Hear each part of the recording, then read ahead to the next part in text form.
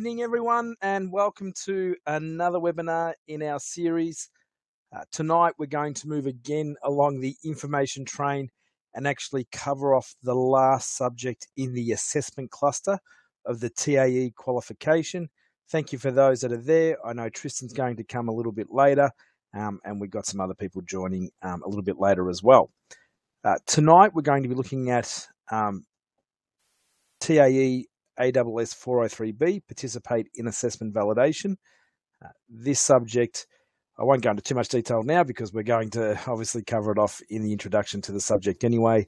Uh, but um, but yeah, it, it, talks about a process that we do uh, as a part of uh, our assessment creation and checking off um, as a worker in an RTO or as a an, an, owner of an RTO or whatever the case may be, anyone within the vocational education and training sector or any um, sector, um, validation is an important part of that. And tonight we're going to learn all about it. A couple of changes that we're going to do tonight.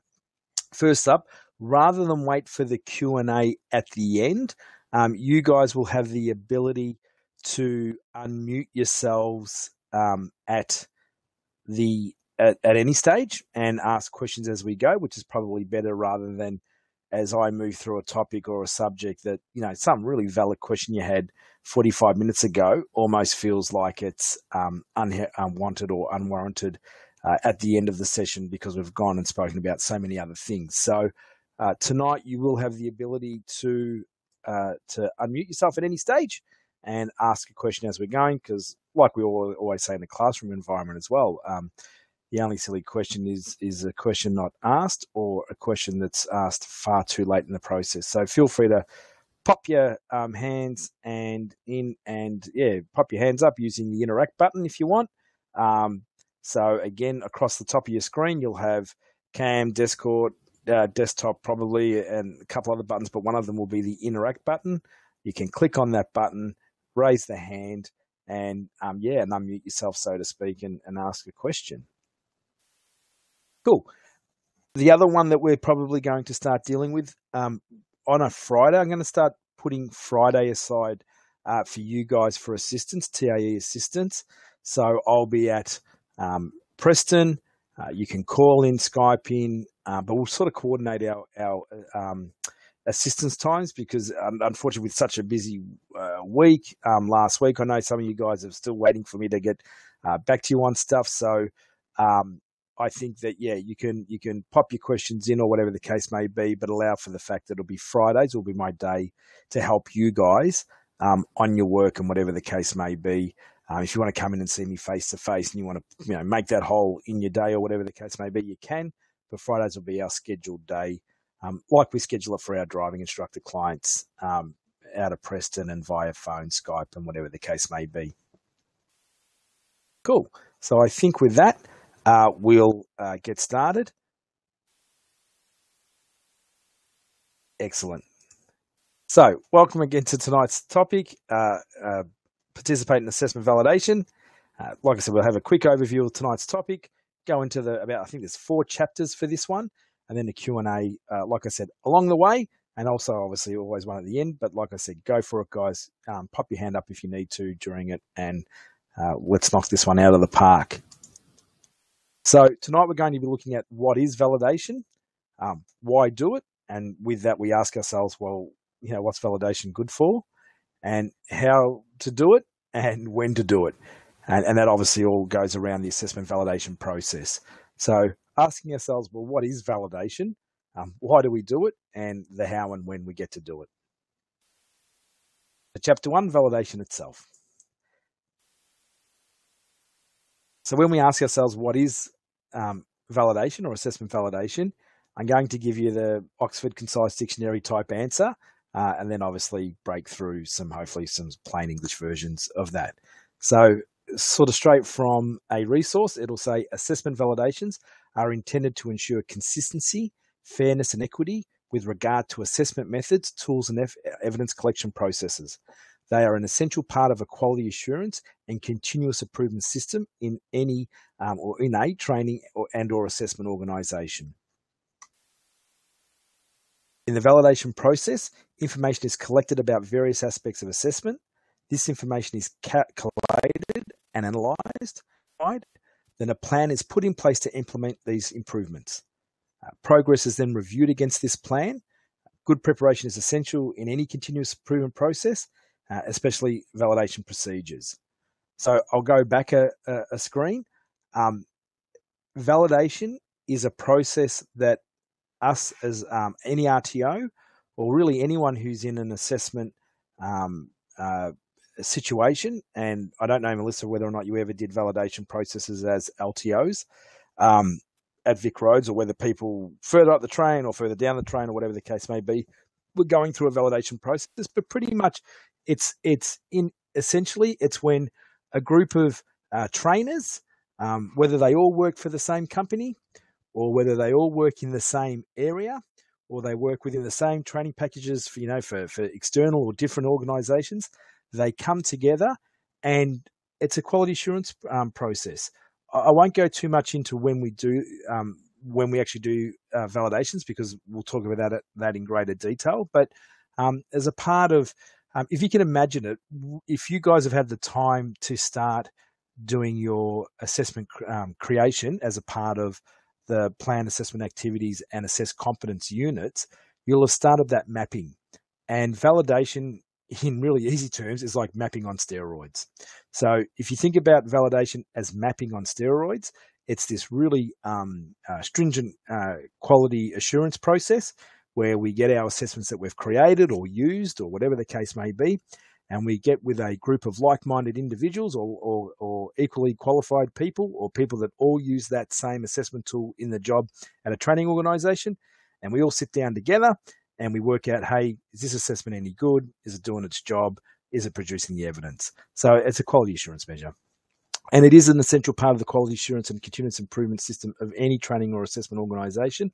And it is a part of the standards of rtos that is a part of the aqf so uh, as as RTO owners, uh, we must um, demonstrate to auditors our validation processes uh, across all of our assessments, and all of our assessments are on a uh, time scale or a rotating calendar of validation. So, you know, virtually, I think off the top of my head, it's like you have to ensure that every assessment that you use within your training organization has gone through some sort of training uh, process um, across any five year sort of period, I think, or, or, yeah. So we some say we'll, we'll check every assessment every 12 months.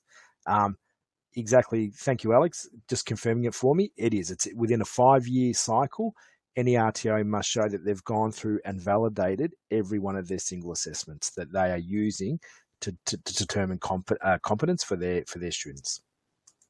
It's amazing. It was like an echo then, but all I was doing was repeating every word I said twice. Sorry, guys. Um, uh, at ITS, it's six months. Could be every six weeks, depending on the subject. Cool. Um, in the validation process, information is collected about. Oh yeah, cool. Yeah, actually, I, did I? Yeah, I kind of read this, didn't I? But anyway, I'll read it again. In the validation process, information is collected about various aspects of assessment. This information is collated and analysed. Improvements are identified, and then a plan is put in place to implement these improvements. So exactly that, guys. Um, as we go through the validation process, there's a pro forma that we fill out. Um, assessors, you know, both individual and in the collective, uh, pop, pop in their two two bobs worth, so to speak. Um, these things are, and when I say that, it's a little bit more um, professional than that. Uh, but they put in, uh, they'll, they'll add to their contribution of where they think um, uh, assessments work well, where they don't work well. The validation process itself should highlight and and uh, definitely identify any issues or problems um, with assessments. And then, like I said, we we have a register, uh, a register of um, uh, improvement, so to speak, or a register of amendments, or um, a continuous improvement register, where as, as an RTO, after they've gone through validation, um, we write down what's been um, discovered through the validation process, the plan of how we're going to improve that assessment, um, whether it's the assessment tool, procedure, or rules, or writing, or anything about the assessment tool and the process, so to speak. Um, we document the changes and we give a date of when those changes will be implemented by, and then we have like a final um, uh, sign off where uh, me, it's actually my job role at ITS as a training manager. I'm meant to sign off and say yes, that that process has now been complete. So it, it pretty much, if you can imagine, it's just a table that says virtually, you know, assessment validation process, what type of validation took place. There's a few different categories that we're going to look at. Um, the identified um, areas of improvement, the suggested improvements, um, when they've been validated, when um, that assessment's gone from version, you know, 2017-1 to 2017-2, um, and then we kind of sign off that it's been done and dusted. As it says here in the bottom paragraph, progress is then reviewed against this plan. Good preparation is essential in any continuous improvement process, especially validation procedures. So when we go about and start to do a validation process, um, which is, again, we'll talk about in more detail in the next few slides, um, one of the important things is planning. Um, clearly understanding who's going to be involved in the validation process, who's going to be the person who chairs it or kind of runs it, um, all the documents that we need, because you can imagine when you're validating something. So when you're getting an assessment and saying, hey, does it do the job right? Is it, you know, again, it's like a mapping. Uh, a mapping um, exercise on steroids. Obviously, you need units of competence, you need the assessment, you need any supporting documents, um, you may need, you know, um, uh, finished completed assessment tools and you may need new assessment tools or master assessment tools all those things need to be make sure that they are in place and there for you um, for the for the hour three hours or day that you send, spend doing that validation because again getting all your trainers into the room at one time or organizing different rtos to come into a central location to do a validation process is a costly exercise for any rto um, it's very valuable in the in terms of outcomes, but from a dollar point, it's a costly exercise. So you need to be well prepared to make sure that that process runs as smooth as possible, um, because downtime is just costing everyone money and can be frustrating. As an assessor, uh, you will need to participate in validation processes, whether you are validating your own assessments or that of others from uh, from your RTO. So you may have written and created an assessment, and then as a result of that, you'll be a part of the panel that is put together to run through the validation process for that assessment. Or likewise, just as you'll have other people being a part of your validation panel working on your assessment, you can obviously be um, uh, on another panel um, validating, help validating another colleague's um, assessment. It is not uncommon to act as an independent assessor, participating in an assessment validation process for another RTO. Uh, more about that later, but that's now become um, an, an, incredibly um, important part of the validation process, and especially all around this TAE qualification.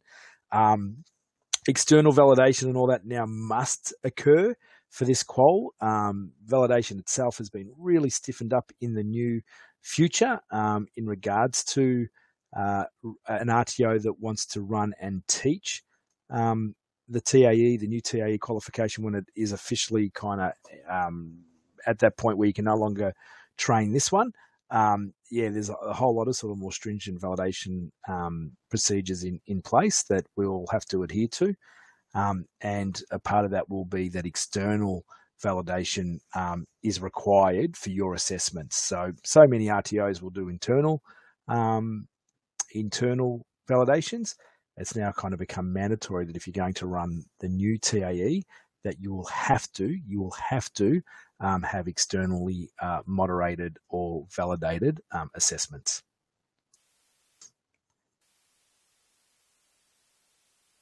However, one thing is clear.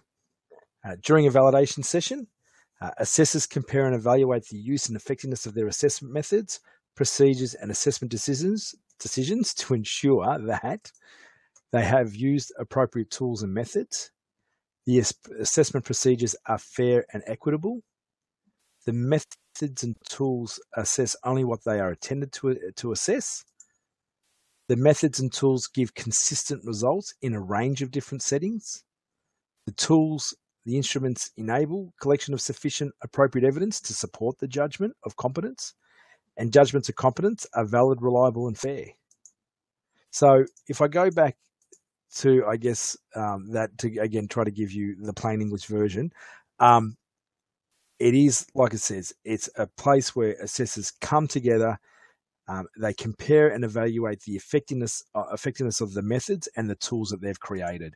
And really, what you're doing, you are um, as you go through a validation document, you're really ticking off that this assessment you created is is is adhering to the rules of evidence and the principles of assessment, uh, plus um, some other rules and, and regulations required in um, as a requirement of or the standards for RTOs that um, that yeah the assessments you cre- created are, are, fair, they're equitable, um, they're assessing what they're meant to be assessing, uh, they're creating the evidence that um, they're creating. Uh, there's another process called moderation where we check that as a part of the validation process or, or, or uh, running parallel to um, the validation process is another thing called moderation where we look at um, who's ticking pass and fail and whether or not um, that's um, being equally fair um, and and people would um, pass or fail that assessment tool on any given day with any uh, given assessor. So this validation process really is it's the principles of assessment and the rules of evidence, um, keeping in mind the unit of competence um, and the job role that these people are a part of, and asking ourselves, does this assessment tool do the job? Does it get people doing what they need to do? Do they clearly understand what's required? Um, when they're going through that assessment process, do the tools that the assessor are using are they effective? Do they allow them to really gather the right type of evidence? Does it get them to be able to record correctly what's required? Um, and, and as a result of all those things, does this assessment tool and all of its processes and all of its instruments that it's that has come together to create this assessment tool, does it get the job done right? Can assessors truly deem a person competent against all the required criteria as a result of that, that use? So, chapter two why participate or have an assessment validation process? So, validation is part of an organization's quality processes. For registered training organizations, RTOs, it is a requirement of the AQTF. Um, so, that's the Australian Qualification Training Framework. Um, and there's a standard in there. I remember I was talking about that last weekend a little bit. There's a, there's a set number of standards that RTOs, very open, long um, um, uh, paragraphs or, or, statements that um, RTOs need to prove that they can understand, interpret, and adhere to. And a part of that is that um, the, the, AQTF standards that RTOs must conduct regular assessment validations. Like we said, that there's a five month um, cycle on a five year cycle, sorry, on 100% of your assessments being used within your RTO that they're validated um, and, and updated. As stated earlier, validations are intended to ensure consistency, fairness, and equity with regard to assessment methods, tools, and evidence collection processes. They're an essential part of the quality assurance and continuous improvement system in a training and or assessment organisation. For any organisation using assessment, validation will ensure that the assessment processes, the methods, the tools, and decisions are valid and reliable. And like I was saying to you before, I mean, I've already once again gone ahead and um, preempted myself, but it is all a part of the principles of assessment and the rules of evidence. It's that mapping uh, process on steroids. The benefits of assessment validation track further than meeting AQTF requirements, though. Uh, successful RTOs use validation as a means of assuring quality uh, that boosts morale within the workforce and student population when you have good, strong, vigorous um, validation processes, especially when you've got a lot of trainers working in a particular qualification using using a particular assessment tool, you can imagine getting together and having all your assessors and trainers sharing their experiences, sharing what they like and dislike about the um, an assessment tool or the assessment processes as a result of that tool, is certainly going to build camaraderie and also confidence. Um, as an assessor, you could be out there doing the job on your own to come in and go, hey guys, you know, I really have troubles with the observation um, tool in this particular part. And everyone goes, oh my God, I was feeling the same way. That's a great morale booster for the team. All of a sudden, you know, a lot of those individual assessors and trainers out there working on their own are reminded they are working a part of a team. Uh, they are um, sharing the same um, emotions as others, and that's a major benefit. And more importantly, um, uh, chances uh, for or, or, identification for improvements are, are, created and made, and they those uh, um, improvements are implemented, and and everyone walks away a, a better um, trainer, a better RTO, um, and that all leads to students having a better interaction with with that learning process or learning pathway within the company you're working for. So benefits also include uh, it is a mechanism that encourages assessors to learn from one another. Again, I've got to stop preempting myself. Um, I and I do, as it says there, I always learn from validation sessions. I always have over the years. Whenever we do a validation, I, I seem to come out a little bit smarter than, than when I walked into the room. Um, and that can work both ways. Alex last year and I um, had a, a, much larger RTO come to us uh, to do an external validation because a part of that whole you got to start validating with other um, um RTOs. It was quite funny because they are a much larger RTO than us, and the guy kind of came. He's a very very nice guy, and the guy came to the validation process with a bit of a, "You little guys, uh, we're gonna, you know, obviously." I hope you don't get too uh, embarrassed with uh, with everything that will go on uh, over the next uh, four hours. Uh, needless to say, the poor fella um, was. It was so funny where he he ended up he couldn't even hide anymore. He was saying, "Oh my god, this is so embarrassing. Your quality control measures and your ability to write assessments that meet the criteria is so far superior to what we have been doing. It's embarrassing. It should be the other way around. We have a whole quality assurance team. We have a, you know, we have all these assessors and trainers, and it was again we we learned from it, and there was things that they had that we weren't doing that we certainly benefited from. Um, but it was funny um, in the end, hearing that, the, the, the, poor guy's whole demeanor about the whole situation was that, um, yeah, that they he actually got far more from the validation process than what we actually did. And and as you guys know, if you were to look at our company structure, um, there is a lot of uh, the same name going around and around doing different jobs. So um, I can be training manager, um, janitor, uh, quality assurance officer, um, lead um, validation officer, um, carpet uh, sweeper uh, or carpet vacuumer, toilet cleaner, and, and going on and on and on. So within our processes, there's a lot of job roles that keep on getting folded in in, in such a small RTO. Uh, like I said, it was funny that these guys had independent workers doing independent jobs all in that area, yet a lot of their stuff came up incredibly short. And like I said, it leads to great accountability across your organization too. When you get people in the room talking about these things, uh, problems are identified, people become accountable, and that's and that's good. And, and at the same time too, no one can say, "Oh, I didn't know," uh, because you were all there on that day of validation. You've all signed off that you're a part of that process. Um, and that you all learned and, and, and left there with, with a clear understanding of what was required from the assessment tool. So that, that does lead to a, a higher accountability. The other outstanding benefits include providing evidence for external and or internal audits. Um, uh, hey, Tristan. Uh, so um, providing uh, uh audits are a, are a, part of the life of any RTO or any um, assessor and trainer. You will, if you're going to work for an RTO at some stage, you will be a part of an audit process. Um, it can be internal, um, where uh, larger organisations, or again, um, even smaller organisations, will go through an internal audit um, just as an own quality assurance measure. And then at different times, you're going to be externally audited by the regulators. Um, if you're a Victorian registered um, RTO, the VRQA uh, will be a part of that, um, or Skills Victoria, sorry. Um, there's the people that are involved in handling the funding. Um, they can audit you. They're quite um, uh, rigorous and, and, almost nasty types of audits. and then you've got the overall regulators. If you're if you're an AQF, sorry, if you're a ASQA registered RTO, you can deliver all over Australia, then you can be a part of an ASQA audit. You can provide professional development for assessors. You can determine whether different assessors or facilitators using the same tools collect the same types and levels of evidence. And as I was saying before, that's massive.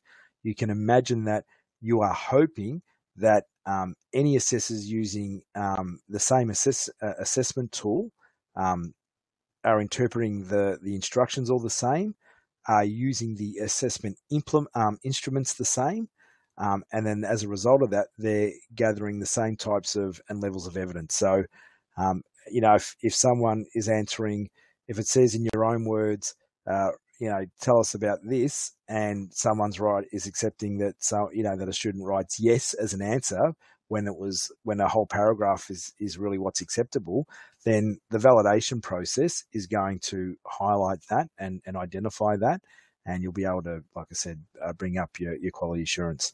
Also, determine whether different assessors and facilitators interpret the same evidence similarly. And again, all this harks back to the the rules of um, uh, the principles of assessment. Um, as well as the rules of evidence, but that one especially, determining whether different assessors and facilitators interpret the same evidence similarly.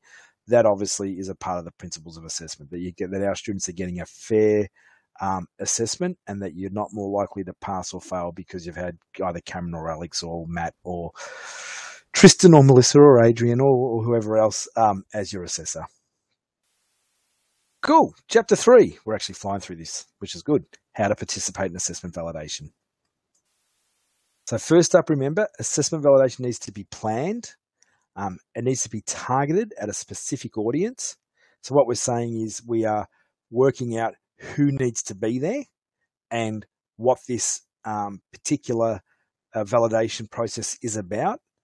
Um, it needs to be documented. So all all of the um, requirements um, in regards to uh, the documents needed to um, run the validation process smoothly um, is is there, and at the end of the day, um, understanding that it's focused um, on identified areas such as assessment methods and tools. And and again, and obviously, with in regards to this, what um, assessment validation needs to be, it needs to be focused on identified areas such as these and assess and assess as assessment methods and tools. So, understanding why the trainers are getting together and what the key component of this, the whole reason for this validation process needs to be well and truly articulated uh, before the meeting, so everyone comes prepared and understands what's what's going to be required. Uh, first up, remember that um, to determine whether assessment decisions um, reflect the rules of evidence, that they're sufficient, um, that they're um, fair, um, that they're it's, they're valid, um, and yeah, I, I, won't go through every individual one, but yeah. So under, asking yourself, when these assessors are either passing or failing students, are they reflecting the rules of evidence? as well, of course, is that the assessment policies uh, and procedures are effective and are being followed. So, that, again, that's where we're looking at our assessment tool. Are the instructions to the assessor clear, concise, and easily followed? And are they being followed? And likewise, the instructions to the student are they clear? Um, are students able to follow them? And again, are they being followed? So important. Um, and that obviously goes through to, to, to, the third dot point, which is candidates are receiving the kind of information they need about the assessment. Again, any assessment process should be pretty clear and concise. Um, sometimes you can't always be there in person to explain the whole process of um, the assessment, hence why um, we do have recorded webinars of us explaining the assessments. Um, if we can't go through it in person. Uh, generally speaking, really the whole idea of those Saturday sessions is a part of that is that we get together as a group and I can run through the assessment with you in person and you get that first-hand account of what's actually being required because as we all know as good as um, we all think we can write um, written instructions to an assessment um, it's still open to interpretation and there's nothing worse than we've had that because I've been I've had feedback from you guys where there's a little bit of confusion about what's required. Um, and it does need that time together for me to say, hey, this is what you actually need. This is what's required. I know I was hoping to have had an, um, um, an email done for a couple of you guys explaining that. Um, yeah, just to make that whole process cleaner. So the validation process does identify that. And when we do validate assessments, we do record if all, all, you guys are sort of getting back to us saying, "Oh my God, Cameron, what what do you mean by Part B of that assessment?" Then we will tend to actually not even wait to be honest with you for the assessment um, validation process. If we're getting feedback from you guys consistently that, an area of an assessment is is hard for you to understand and follow, then we actually go and fix that almost immediately. It'll go onto the document improvement register, um, that's not the proper name for that register. I just can't think of the, the, the proper name for it. It might be the continuous improvement register, um, but it, will go to that, and we'll we'll um, note that those things have been changed. Um, and as it comes around to the validation process for that assessment, that document will be there, so everyone understands what improvements have been made anyway across the life of that assessment and that, that assessment tool um, before we got to the validation day for it. Um, assessment resources are properly designed um, and assessors are assessing consistently. So determine whether the assessment decisions reflect the rules of evidence. the assessment policies and procedures are effective and are being followed. Candidates are receiving the kind of information they need to be able to fairly um, be a part of that assessment um, and assessment process. Um, that the actual resources are properly designed, they're doing the job right, and when they are being used, the assessors are actually assessing consistently. From a personal um, perspective, uh, you will need to ask yourself, how do I identify an opportunity to participate in an assessment validation process? Um, and who's, go- who's going to be the, or who is the coordinator of the activity? So if I was working um, for, for an RTO, I would head off to your training manager or whoever's in charge of you and say, hey, um, haven't been long in the job or whatever the case may be. I would love to be a part of any validations that you have. Now, a good RTO will, have, will bring you into that anyway, and they'll understand that as a trainer new to industry, having a day or an hour or two or whatever the case may be, sitting with more experienced assessors using the same tools as you um, is invaluable, is absolutely invaluable. But if that is not there, go make sure that you knock on the door and say, hey, I would love to be a part of the validation process. Um, over the, we, we have had the odd person who's done this course over the years who's actually got back to me and said, hey, Cameron, um, I rang, I just rang my local RTO and said, I've just become a newly qualified TAE uh, trainer. And if you're going to do any validation, um, could I be a part of it? and they did get a Guernsey. A couple of them did get a Guernsey. The RTO said, "Yeah, yeah, come on in." Um, I know one it led to employment, the other one it didn't, but not that the person was going there for that. So, putting your hand up, it could be again one of those things where you go to your um, our industry, you know, skills body or whatever the case may be, and say, "Hey, I'm an assessor in this area. Um, I want to look for an opportunity to be a part of a validation process." There are a lot of assessor and trainer networks, lots of them, and all of those networks will tend to have planned assessment validation processes as a part of their um, uh, function as an association. So, um, Transnet, who we're a part of, which is the Transport Trainers uh, and Assessors Network, um, it's a great association, um, so to speak. Um, they, their yearly conferences um, always a part of that yearly conference is there's a, there's a validation day. And they do that so all the RTOs and all the trainers that are members of that um, Transnet group can tick off their um, professional development criteria and their quality assurance criteria, but especially their professional development activities that all staff members of an RTO need to be a part of. Um, so there's plenty of opportunity outside of you working – uh, for an RTO or working inside an RTO for you to be a part of the validation process. And especially after this course, if you choose to join any um, uh, trainer and assessor group, and there are lots of them, they will have plenty of scheduled validation processes that you could join. Um, will the validation be undertaken prior to, during, or after assessment?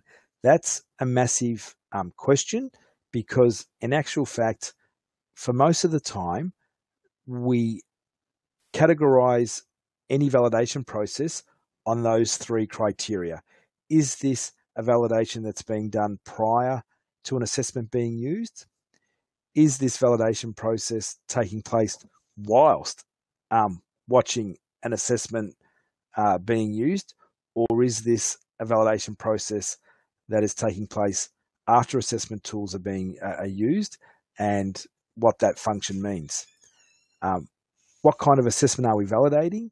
Is it an uh, is it a combination assessment that has Q and A? Is it observation only? Is it only a part of? Is it formative assessment? Um, is it um, summative assessment, um, which you would have gone through in those different um, uh, that that other webinar that I didn't deliver, but you should have watched? Is a diagnostic assessment? So um, that obviously frames very much what you're expecting to get from the pro, um, process. Um, identify the purpose of the assessment uh, validation activity, which I just preempted myself. Uh, this will help ensure the positive outcomes uh, for the group, uh, for you and the group. So understanding that these key elements um, need to be these two, as long as as well as these ones, all come together to make sure that you have a better chance of correctly um, how toing a validation. So what um, you will do in a validation session is review compare, and evaluate the assessment process, tools, and evidence contributing to judgments made by a range of assessors um, against the same competency standards. Like I said, it's like a mapping, it really is a mapping process on steroids. Um, document the outcome and any set out plans to take action to improve the quality and consistency of the assessment. Like I said before, it's all about that document, um, uh, that continuous improvement register. We've gone through a validation. We've identified what the validation is all about. We've gone through the validation process. We've documented the um, improved um, requirements, improvement requirements. We've implemented them. It gets signed off. Um, life moves on. So remember, these may be internal processes with stakeholder environment, uh, involvement, sorry, or or external validations with other providers and or stakeholders. So um, when when we are creating a new assessment, I think I was telling you guys about this before. We go out, um, seek industry involvement, and get them to have a look at our um, our our assessments and and get them to contribute to that. We get them to validate our assessments before we put them up to order to have them added to our scope of registration. Remember, scope of registration is a RTO speak for the things we're allowed to teach and assess and give certificates for. Um, so stakeholders can be industry, um, uh, other people that work, uh, clients, uh, they can be other people that work within an RTO, um, and as I said, can be other providers um, and or people from other areas. So regulators. So you know, not that we've ever seen the TSC come to um, a validate an external validation process for the driving instructor qualification. Um, but yeah, you would hope that if all the RTOs in Victoria said, let's get together and validate a particular unit to do with the driver training course, that the Taxi Services Commission, our regulator, um, would maybe come in and be a part of that process. Needless to say, they normally, uh, I think, in the past have said no. What will you need? So, what physical resources are required? Um, as consistently mentioned, uh, being well planned is essential to any successful validation process. Part of that process requires the organisation of all the correct um, documents. Uh, the materials you'll need to validate an assessment are, and as it says there, but not limited to, um, the current version of the training package that these competency standards or qualifications are drawn from, samples of the assessment tools, the evidence and assessment decisions. So that can be um, a brand new assessment that's never been used, and also um, an assessment that has been used, including any evidence, if it's just written answers, whatever, that it's a filled out assessment tool, or if it's um, assessing someone that had a finished product, that that product is there as well as the assessment tool, including any documentation outlining the basis for the assessment decisions. So, any trainer notes, any places or spaces where trainers record what they're seeing or making the decisions upon, or that's a part of it and should be there. Um, feedback from the candidates audit or self assessment reports, and correspondence on assessment. Um, so uh, you're there, the assessors are there, and all the paperwork is there. Um, so, what should happen next? Uh, the lead assessor should promote conversation and participation by asking the assessors how they have used the assessment tool, um, what evidence they have accepted in support of competence when using the assessment tool. So, hey guys, um, who's used this assessment tool? Fantastic. We all have. Cool. Um, what's your experience like? What do you like about it? What you don't like about it? Fantastic. Awesome. That's great feedback. Thank you everyone for contributing. Um, tell me, guys, when it comes to question one, what do you accept as uh, as an what do you take as an acceptable answer? And again, it's promoting conversation, um, the sharing of information. We're bringing everyone onto the same board um, or the same place, which is vitally important the people with whom they have used the assessment tool, um, the outcomes of the assessment process, and such decisions should highlight whether the tool has been well constructed or not. And it will. That conversation will certainly highlight.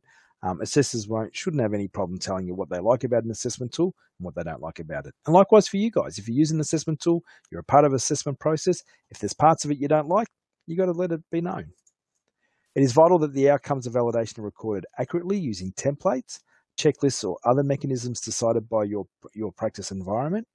Um, as a participant, check that the outcomes of the validation session have been accurately recorded, including agreed future action. Very, very important. So you've got some sort of template that you're using.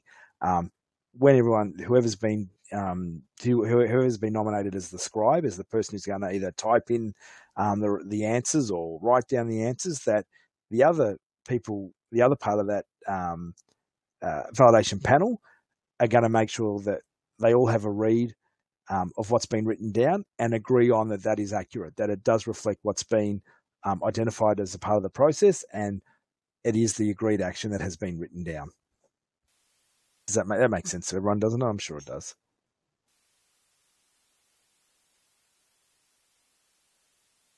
So remember, version control is an important feature of an RTO. It will be imperative that, it, that implemented improvements to any assessment tool reflect the need for version control via new version numbers. It is common practice that assessors sign a confidentiality agreement. So you will notice at the bottom of all our assessment tools, um, you'll see that it's like 2016.1 or 2016.3 or it's 2017.1 or 2017.2. Um, that's a part of version control that any improvement that is made to your to those assessments and as we uh, identify the problems fix them that that assessment becomes from version 1 to version 2 or from version 88 to version 89 whatever the case may be how many improvements that you've made across the life of that assessment tool. Um, version control is mightily important. Um, it's a part of uh, one of the first things auditors do. Auditors do is always get all the documents and work out work out that the version control is correct. Um, it used to be always that one place where a lot of RTOs would fail. Let's say looking at your um, training and assessment um, plan or your TAS. Um, it talks about here that students will be using, you know, assessment uh, 2016.1. I look down here and what you've given me to look at is 2016.3. What's going on? So all that stuff needs to be always updated and reflected in, um, yeah, and that can be the other way around. The, the TAS says they're using 2016.3 and they look down and see it's 2016.1 and they'll go, what the hell's going on here? And like I said, it is very common practice that assessors sign a confidentiality, confidentiality agreement, especially when you're doing external um, external um, audits that you know the the protection of RTOs and that they they their maybe good name is not sullied by a small error within um, their assessment creation or evidence gathering, and that um, that people don't go out and use that against them as a part of that process. So, it's, it, again, it is very common that a confidentiality agreement is signed if you're especially doing external RTOs, or if you've got external people coming in to do validation processes on your assessments. I'd be getting them to sign confidentiality agreements. So, what else can be reviewed as part of an assessment validation process? Uh, competency standards, um, assessment procedures, student feedback, assessment decisions, and audit requirements. So, all of those um, uh, areas can be um, validated, especially things like, you know, are you gathering any student feedback, whatever the case. But that, that, all that stuff, I won't sort of really go into that in too much um, detail. I think it makes sense. The competency standards is obviously um, validating that you're using the most up to date um, unit of competence from the most up to date training package, um, that the competency standards, what the um, what's required to demonstrate competency for that um, particular unit of competence uh, versus what you have in your assessment tool is is all on the same page. Uh, again, obviously the assessment procedures itself. So what you're getting these people to do and how you're getting to do them. So that's really those instructions to the assessor and any particular procedure you've chosen to use to allow people to create evidence that you can make an assessment decision across. Obviously, that can be looking at the OH&S of something. You know, uh, no, no, no. We get our people to drive blindfolded on, you know, um, uh, develop safe, uh, apply safe car driving um, behaviours. Uh, we believe that you know the procedure of getting them to drive blindfolded really proves that they're great drivers. Well, of course, that assessment procedure in a validation process would be um, against an OH&S benchmark would be deemed really bad. So yeah, cool. I won't go on with any more poor um, poor uh, examples like that. Chapter four, um, our final chapter, when to participate or conduct assessment validation this one's you know again especially the uh, the next couple of slides the information about when we do this um, validation process will really help make sense of this whole subject. So the AQTF requires that RTOs validate their assessment strategies and contribute to judgments made by a range of assessors against the standards at least annually.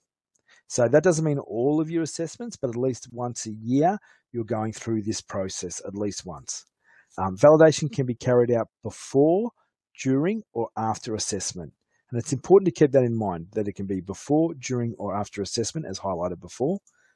Before assessment. So this is actually now giving you guys an understanding of what each category is about and what we're trying to achieve if we're validating at that stage um, of an assessment um, process, so to speak. So before assessment, at this stage, validation concentrates on the design of the assessment tools and the interpretation of the units of competency to be assessed. It is important to ensure that assessors have a common understanding of the standard to be achieved and the evidence to be collected. So for us on Saturday, if we're going to do a validation, if you guys can bring in one of your assessments, if you get it done, don't panic if you don't. Um, but if you can have your assessment done, we will do a validation process, whether it's this week or next week. Um, we'll see how we go. Um, but that validation will be a before assessment. So we'll allow you guys to design your assessment tool. You bring it in. We're going to get out the assessment validation pro forma. We're going to get the unit of competence and we're going to sit around your assessment and we're going to ask ourselves, does it do the job? And we get to tick, tick, tick, tick, tick and cross, cross, cross, cross, cross. You guys will get to identify um, where um, it won't be there. So sorry, no worries, Matt. Um, you will uh, get to um, identify where your assessment tool is doing the job right and where it's possibly doing it wrong. And guess what's going to happen? You are going to create version two of your assessment, um, which you need to do, which is a part of the assess, develop, um, uh, sorry, the participate in assessment um, process and all that. Actually, will in the end ask you to have more than one version of your assessment that it shows that you've been able to create an assessment, map it, validate it, identify any issues, and then correct it and make it a version two. Cool. So um, that's what's going to happen. If not this Saturday, the Saturday after, um, we will validate um, all of our assessments because you will, in the end, for those other subjects, show that you have version one and a version two. Hopefully, for you guys, um, the difference between version one and version two is not too much during assessment. At this point, assessment validation concentrates on the performance of the candidate during assessment, the process of assessment, and the way the assessor carries out assessment. So, what we're really doing in the first one, we're looking at how the assessment's been designed and does it meet the criteria. For the second type of validation, this during this assessment, we're really watching and looking at the assessment at work, the assessment tool at work, the assessment processes. So, what the tool demands that the student does to to create um, evidence for us to be able to deem them um, competent, and also what it asks of or expects the assessor to be able to do in their job role. You know, does it help them um, be able to run a fair, valid, reliable, you know, um, assessment, or does the way the assessment tool, the way the, assessment tool's been written, and the processes it, it asks for, not just for the student, but also of the assessor. Um, is it good? Does it do the job?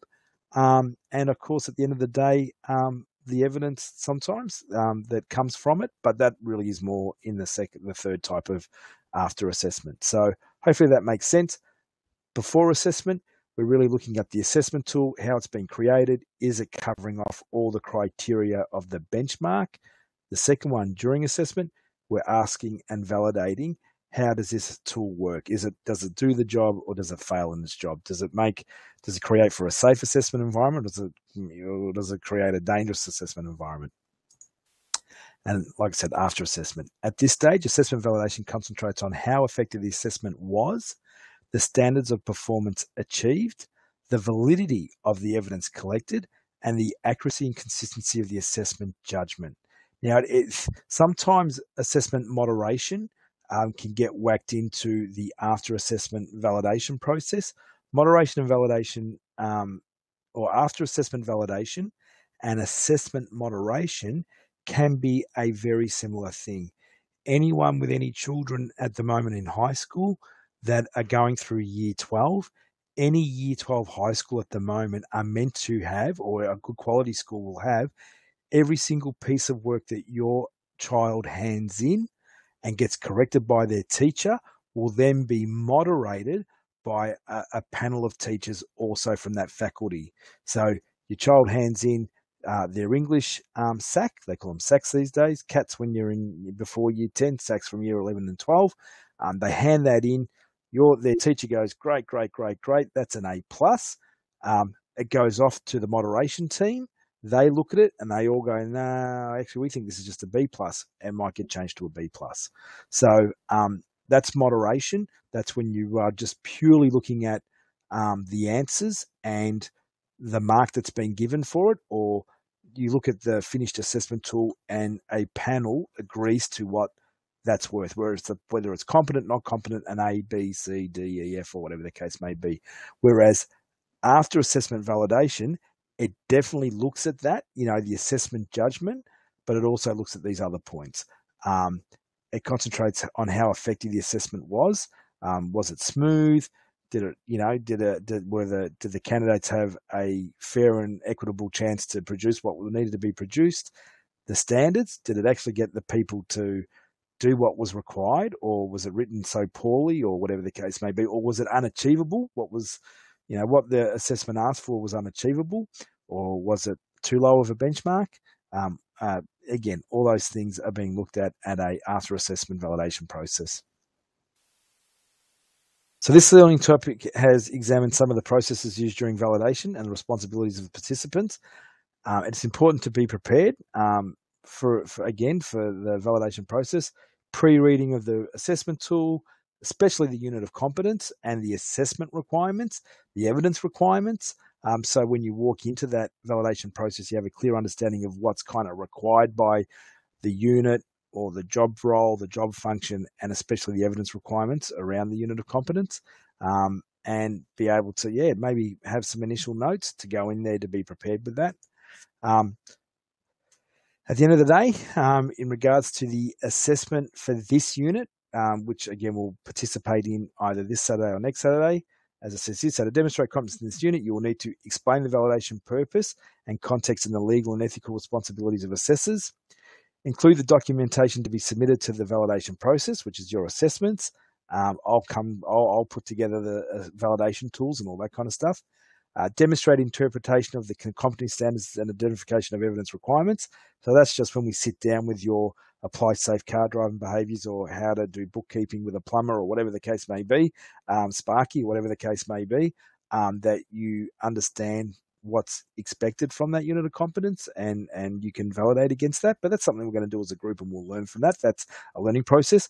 We'll validate um, the customer service um, assessment as one part and we'll do um, your guys assessments as the second part. So whether or not we use saturday as a part training um, for for the last sort of few weeks and we only validate the customer service unit first, that assessment, and then next week um, we move on in the information train, but we validate your assessments just in case you're a little bit behind in creating your own assessments.